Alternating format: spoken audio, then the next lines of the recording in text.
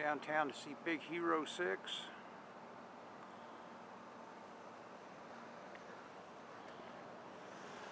Poster says it's now showing, but it's uh, been edged out by something. I can't see it.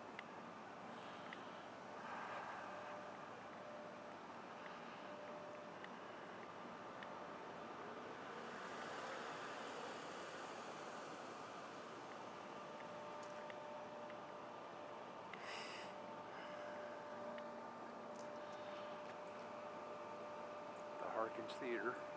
To mean that beheading and enslavement is somehow the right way to go. Well, they do. So as you can see, this clash of civilizations is not going to come to an easy end. It's going to come to a tremendously horrendous end, and they're going to lose.